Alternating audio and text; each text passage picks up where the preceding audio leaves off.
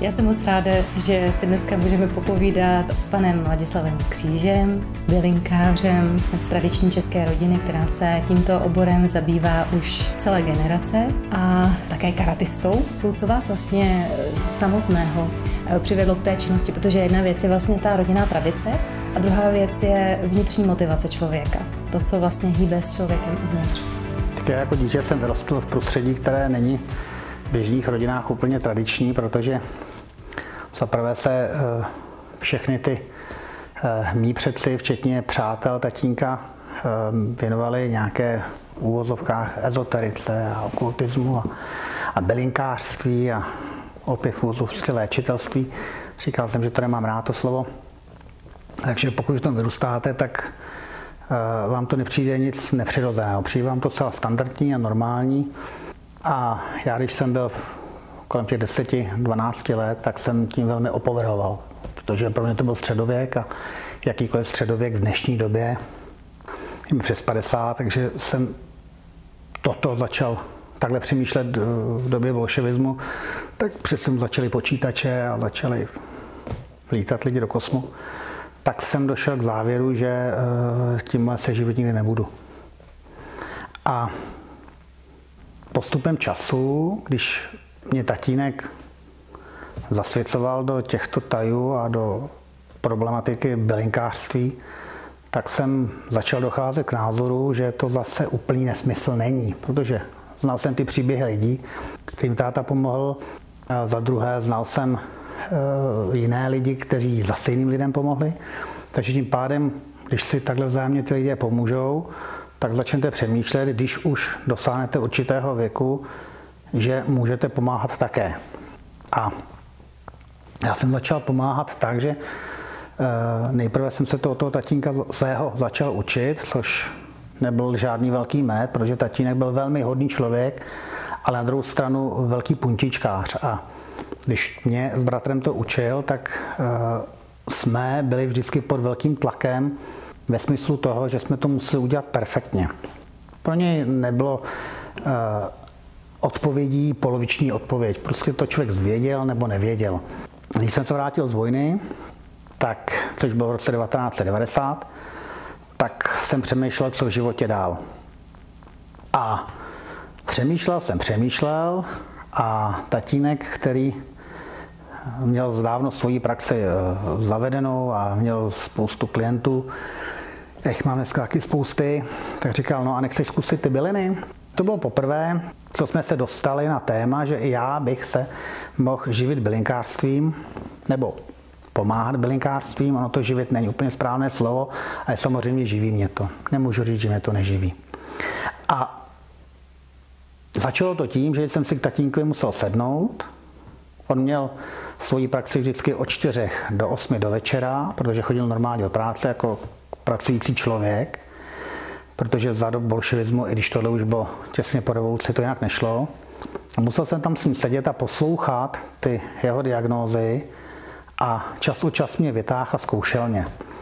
A zhruba po roce se rozhodl, že postaví přede mnou klienta. Samozřejmě mezi tím jsem dělal spoustu a spoustu lidí, kteří byli z okruhu mých známých a jejich známých a jejich známých, ale předtím tátu jsem to nikdy nepředváděl naživo a postav přede mnou klienta, já už dneska nevím, kdo to byl, a řekl, udělej diagnózu.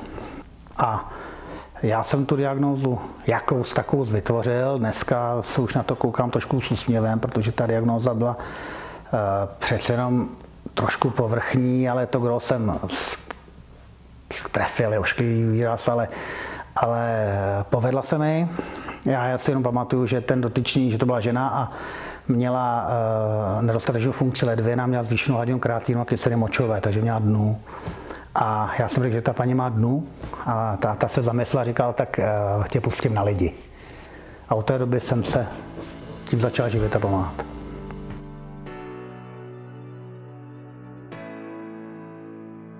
Je skutečně nesmysl říct, uh, léčíte se alternativní medicínou.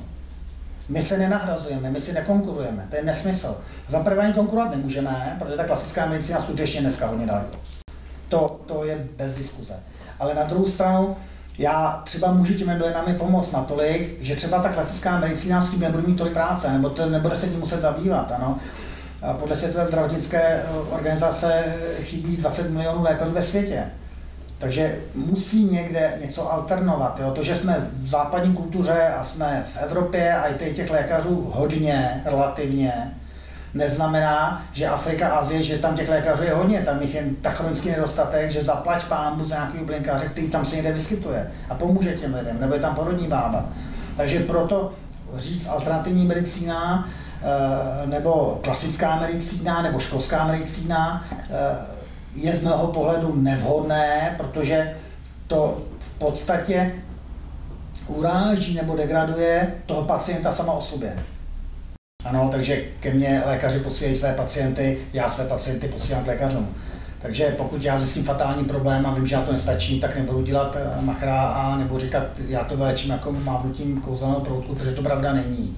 Ano, já nemám ani rád, já to říkám pořád dokola, taková ta, ta řeka jak už plyne, já nemám rád ani výraz alternativní medicína, protože výraz alternativní medicína je špatně. Protože není alternativní medicína, není klasická medicína, není čínská medicína, není homopatie, jenom jedna medicína.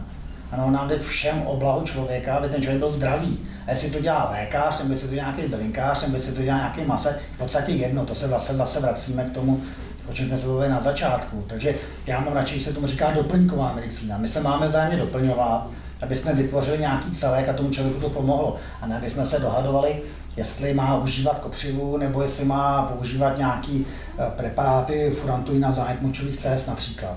Ano, takže eh, tím, že se v tom pohybuju opravdu přes těch 30 let, nějaké renomé máme, tak lékaři, kteří ke mně chodí, nebo kterým já posílám pacienty, nebo kteří oni ke mně posílají pacienty, tak opravdu jsme na stejné vlně a pokud jsme na stejné vlně, tak tak to funguje.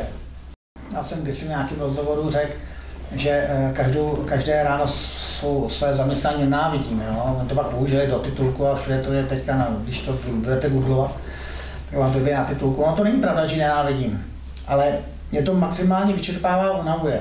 Takže kdybych ten objem pacientů byl poloviční, tak by to bylo tak akorát. Ale já ve své databázi mám 24,5 tisíce pacientů. Takže u mě bylo fyzicky 24,5 tisíc lidí a tyto lidé můžou kdykoliv přijít. A když se roz, roz, rozložíme tento objem, objem pacientů nebo klientů, my nemáme pacienty, máme klienty, do nějakého množství a jak udělám 30 denně, tak se to prostě nedá. Jo, takže je to o tom objemu té práce. Takže čím více práce, tím mě to vyčerpává a proto se rád seberu, oblíknu si to kimono a jdu se tam mydlet do té tělocvičny, proto zase dostal. Protože vlastně eh, já eh, celý den poslouchám, eh, poslouchám, nechci říct nářky lidí, to by bylo hnusné ode mě nebo ošklivé, ale poslouchám o nemocech.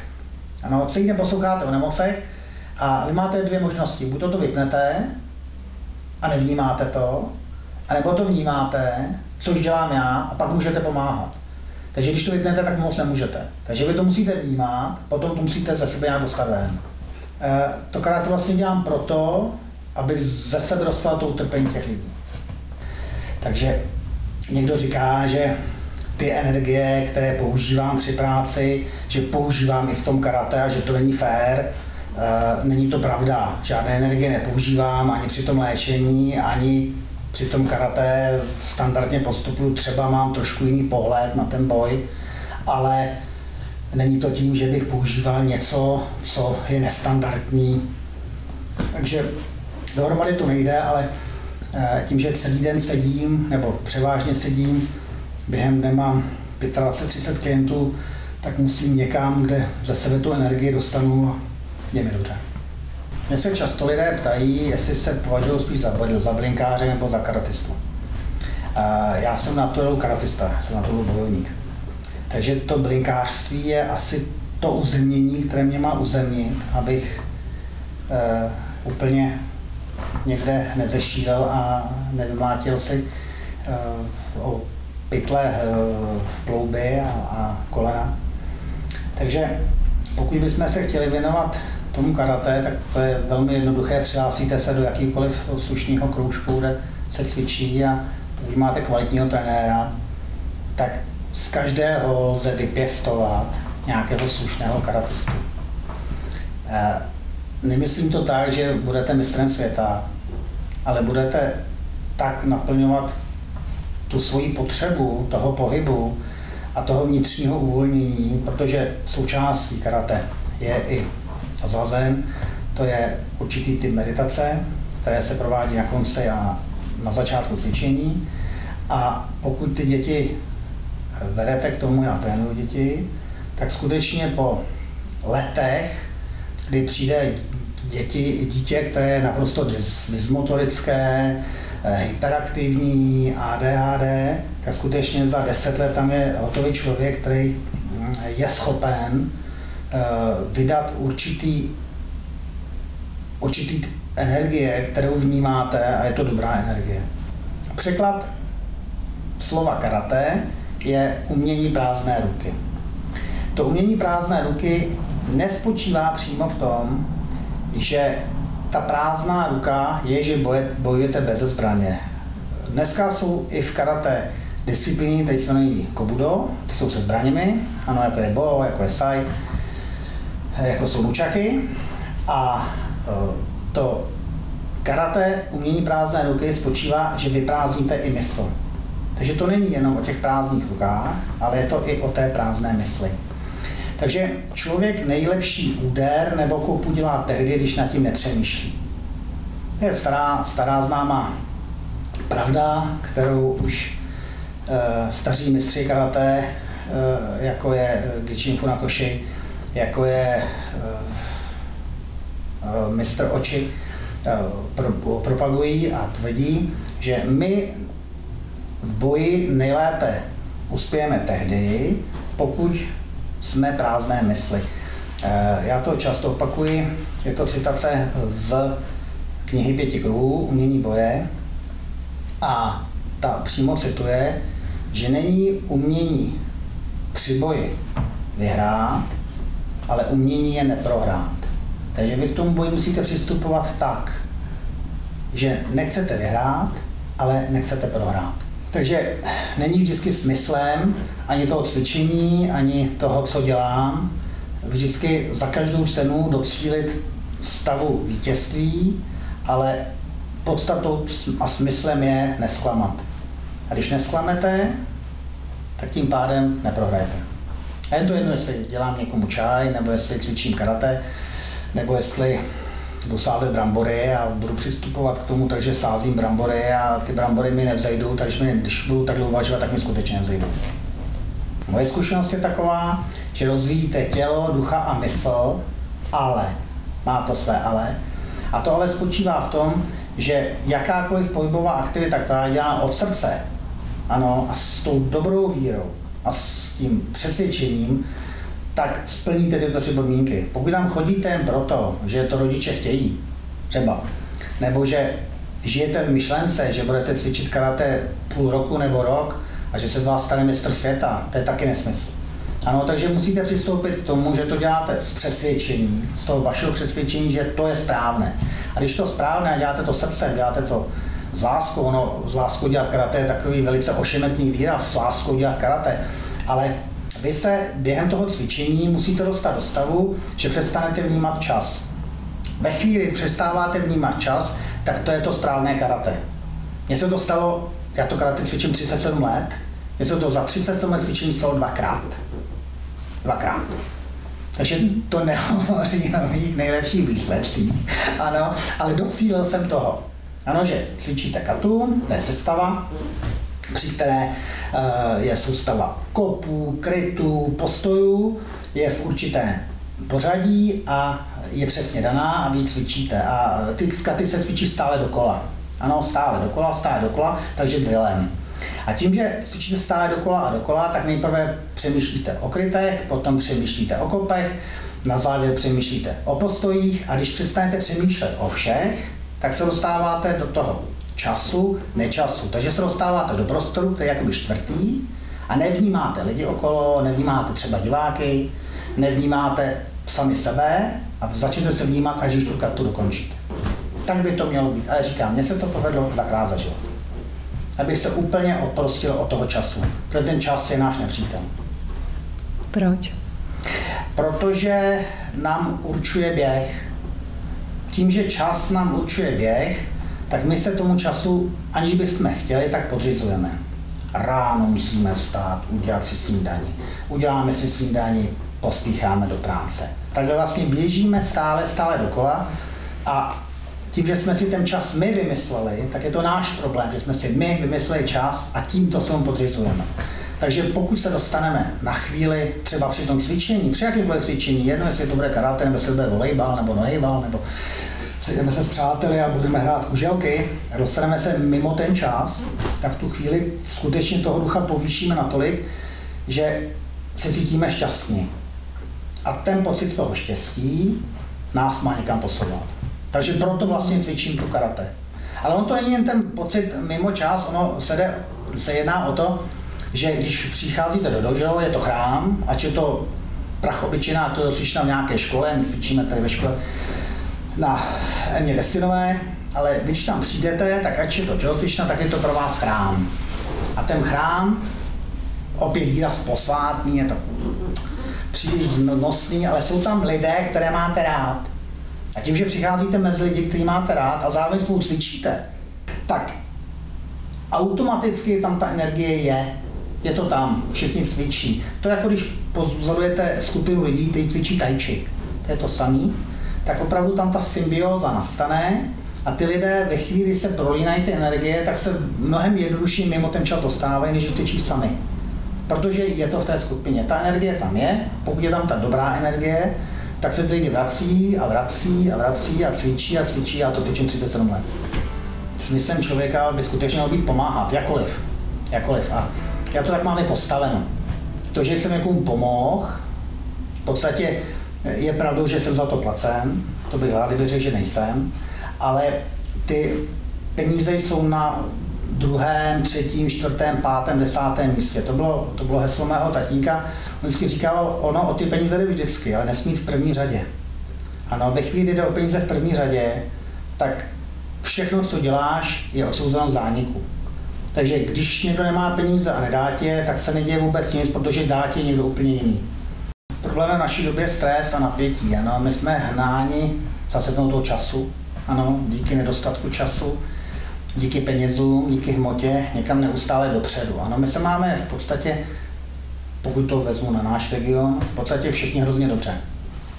A tím, že se máme dobře, tak si v podstatě to nevážíme. Ano, teď když nastal covid, tak jsme se najednou snad někteří uvědomili, že to není jenom o té hmotě a že to je o to, aby se ty rodiny sešly a aby se něco začalo dít. A měl nám říct to, aby jsme se někam posunuli, abychom se zamysleli nad tím pinožením se, společnosti, která se pinoží neustále za hmotnými statky. Teďka nechci vypadat jako egoista, každý má někde to ego někde nastaveno, ale samozřejmě chci také jezdit v dobrém autě a taky chci mít dobrou televizi a taky se chci dobře najíst, ale opět to není tou prioritou. Na, náš život prolínají tři proměny. Ano. A tyto tři proměny přeci jenom ovlivní náš život natolik, že náš život směřuje někam úplně potom jinam. Ano, touhy jsou láska, to je úplně jasné. Obavy je strach a pochybnosti je nedůvěra. Ano, a tyto tři pro mě neustále ovlivňují náš život, neustále. Takže my, když si splníme nějaký sen, třeba, že si koupíme dobrou televizi, tak když si tu tak po ní toužíme. Tak pracujeme, honíme se, vytváříme hodnotu, abychom ušetřili peníze a tu televizi si koupili. Teď přijde ten den D, tu televizi si koupíme, dáme si do toho obýváku, pustíme si ji, koukáme na ní půl hodiny, hodinu, dvě, a tak jsme si splnili ten sen, ale už ta touha je pryč. A už hledáme novou touhu. A už nechceme tuhle televizi, jak chceme větší televizi. Tahle je sice dobrá, ale už jsme si ji mohli dopřát. Takže to, co nemáme, tak potom toužíme. To, pod, co, pod čem toužíme, nás neustále žene a uzurpuje a ničí a narušuje to naše ego. Takže pokud mi to ego bude mít nastaveno, každý ho má někde nastaveno, a bude se snažit neustále zlepšovat jenom nějaké hmotné hmotné majetky nebo hmotné prostředí a hledat to uspokojení, které nastalo na krátkou dobu, tak se vlastně zničíme. Protože nikdy nejsme spokojení. Ano, protože koupíme si tu televizi a e, teď na nějakou chvíli koukáme, tak ona je pěkná, ale tam ta dražší byla třeba lepší. Jo. Tak, tak e, si koupíme asi novou a co s tou starou, tak někam vyhodíme. Jo. Takže takhle to vlastně ženeme pořád dopředu, dopředu. No a když tam přidáme nějaké obavy a pochybnosti, tak v tu chvíli co můžeme dělat. Jo? Takže obáváme se, pořád se bojíme, bojíme se o sebe, bojíme se o své blízké, bojíme se o lidi, které máme rádi, bojíme se eh, toho, že bude válka, bojíme se toho, že bude zatím slunce, takže pořád se něčeho bojíme. A eh, pochybnost je strach nebo nedůvěra v sebe sama. Ano, takže když pochybuju, nad tím, co dělám, nebo pochybuju nad tím, co dělají ostatní, nebo pochybuji nad tím, co dělají ti okolo a nejsem přesvědčen o tom, že to dělají správně, tak samozřejmě něco se vytváří, nějaká energie vzniká a ta se vrací. Ale především musím začít já sám u sebe. Pokud já začnu sám u sebe a nebudu pochybovat o tom, co dělám, budu to dělat tak, že jsem přesvědčeným o tom, že to je správně, tak v tu chvíli to má význam. Proto je pro mě nejdůležitější, nejdůležitější cností pokora. A druhou vlastnost, kterou uznávám, a to je v, přímo v návaznosti na karate, tak je to trpělivost. Takže pokora a trpělivost, protože když nebudeme mít trpělivost, tak té pokory nedosáhneme. Protože my skutečně musíme být trpěliví a nechtít všechno hned. Ono to nejde hned. Ale někteří se to nemyslí. Takže když spojíme pokoru a trpělivost, tak můžeme dokázat všechno, co chceme. Člověk musí rozvíjet to, aby byl na světě spokojený. Ano, takže pokud to nebude materie, tak nás bývá duch. Směřovat to někam, kde dojdeme k cíli a ten cíl by měl spočívat v tom, že nám to alespoň částečně přinese uspokojení. Ale přinese nám to uspokojení v tom smyslu, že ti všichni ostatní to uspokojení mají také. Takže pokud budu myslet jenom já na to, že e, musím vydělat peníze, abych si koupil rohlík, tak to správně není. Já musím myslet na to, že vydělám ty peníze a ty rohlíky si koupím dva, jeden s ním a druhý někomu dám. Ano, tak pak to má smysl, to, že jsem vydělal ty peníze a to, že jsem ten rohlík někomu dal. A když by tak uvažovali všichni, tak v tu chvíli máme tady takových rohlíků, že nemusíme vůbec bát, že tady bude hlad. Ano, takže kdyby všichni přemýšleli o tom, že si koupí dva rohlíky a jeden sní a druhý někomu dá, pak je štěstí na zemi. Smysl, který se snažím hledat celý život, bude na konci mé cesty vyhodnocen jako, že to bylo smysluplné, že to byl smysl. Pokud bych celý život něco dělal a na konci svého života zjistil, že celé to bylo špatně, nebo že to bylo k ničemu, nebo že to bylo, nebo třeba někomu uškodilo, tak v tu chvíli ten celý můj život byl zbytečný. A život, je zbytečný, jak je ztracený. Takže každý ztracený život, který nedá tomu svému životu to, ne co společnost od něj očekává. Společnost od nás očekává třeba daně. Jo? To si myslím, že není smyslem. Ano, to, že jsme si vymysleli systém společnosti, v jaké žijeme, budíš, narodili jsme se, proto jsme tady, abychom s tím něco dělali. Takže pokud to směřujeme tak, že já na konci svého života se otočím a řeknu, dobře jsem žil, tak v tom vidím ten smysl. Tak já bych chtěl všem lidem zkázat, aby se měli rádi. Ne ty okolo, ale by měli rádi sebe. Ve chvíli, když budou mít rádi sebe, tak nebudou o sobě pochybovat. Když nebudou o sobě pochybovat, tak budou spokojení a když budou spokojení, tak můžou pomáhat těm ostatním.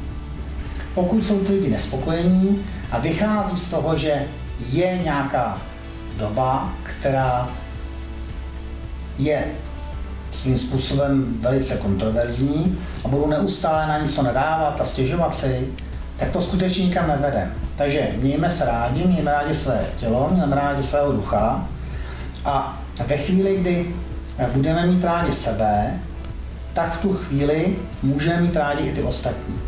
Takže my musíme mít rádi sebe, ale ty ostatní ještě radši.